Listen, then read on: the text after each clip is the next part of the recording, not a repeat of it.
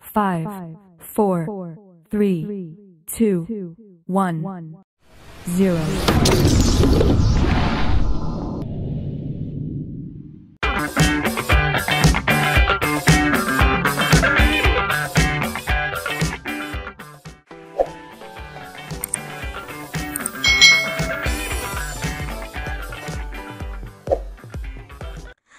Hai hai hai Selamat datang di channel youtube Kak Citra Apa kabar adik-adik semuanya?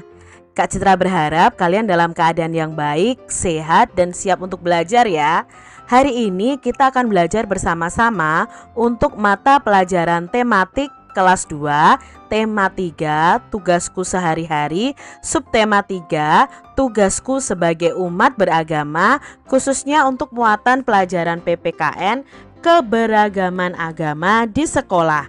Mari adik-adik kita belajar dengan penuh semangat ya. Setiap siswa itu memiliki agama yang berbeda.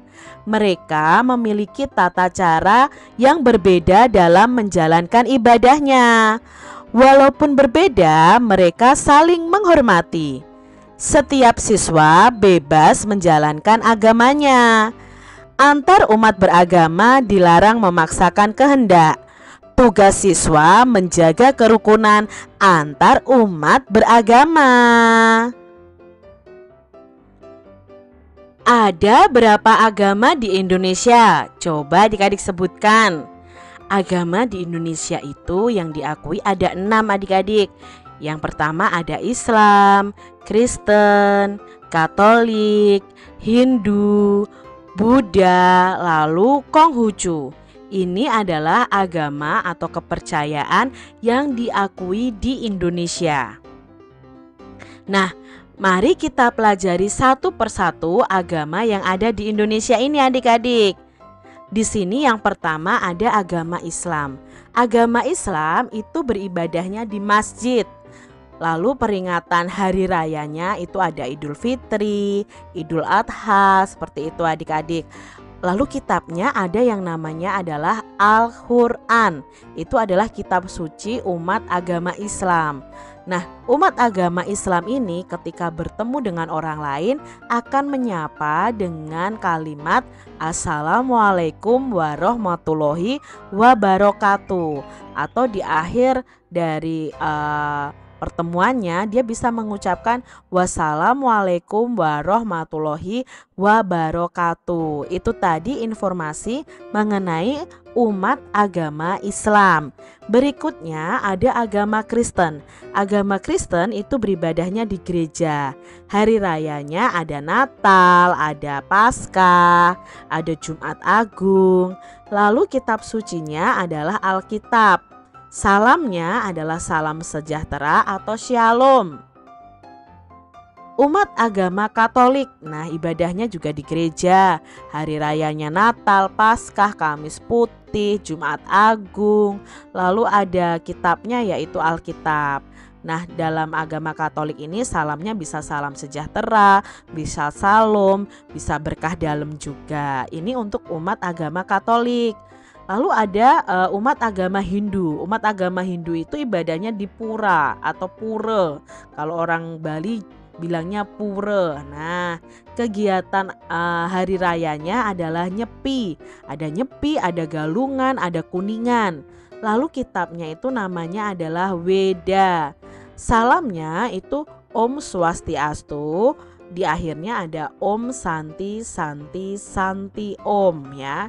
Di sini uh, informasi mengenai umat yang beragama Hindu. Berikutnya ada umat yang beragama Buddha. Itu ibadahnya di wihara. Ada juga yang menyebut vihara seperti itu adik-adik. Nah, hari rayanya itu ada Waisak.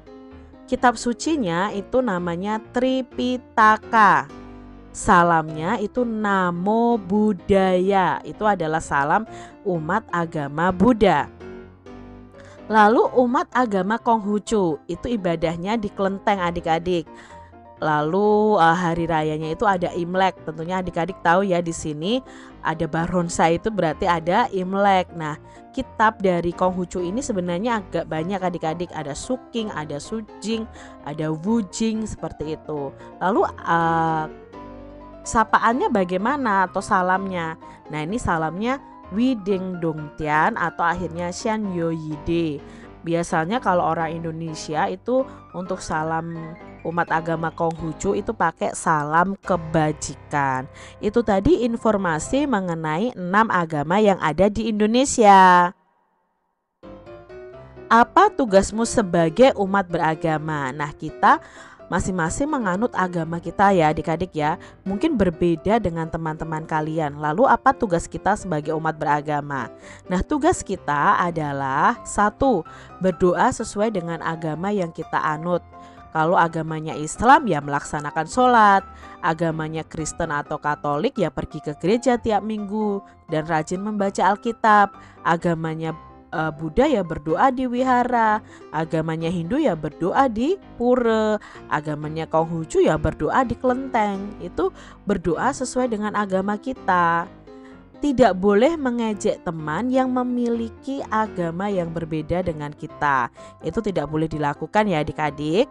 Menghormati dan menghargai teman yang memiliki agama yang berbeda itu juga tugas kita.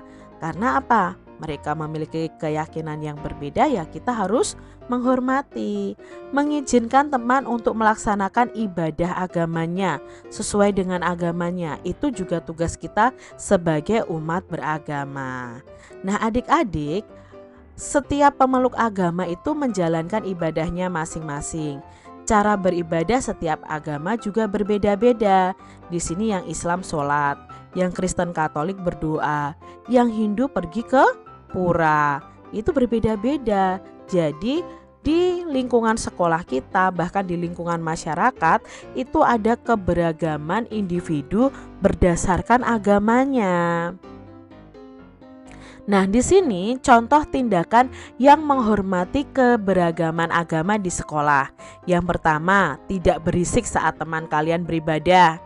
Tidak makan di hadapan teman yang sedang berpuasa memberi kesempatan kepada teman untuk beribadah, turut menjaga kebersihan tempat ibadah di sekolah, lalu tidak saling mengejek cara beribadah teman atau agama teman.